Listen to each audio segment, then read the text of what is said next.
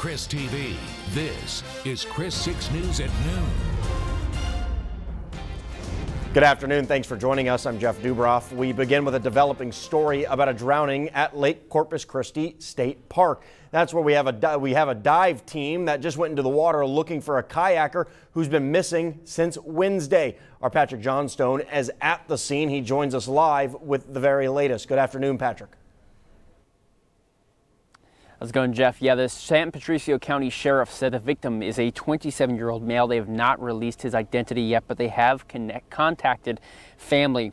And the San Patricio Sheriff's Office is working with Texas Game and Parks to search for the missing kayaker's body. The crews are out on the water right now. They have boats and a couple of divers on the lake, and we still don't know much about this incident, but we will provide, we will be following it closely and provide updates as we learn them throughout the day. For now, reporting live at Lake Corpus Christi, Patrick Johnstone, KRIS 6 News.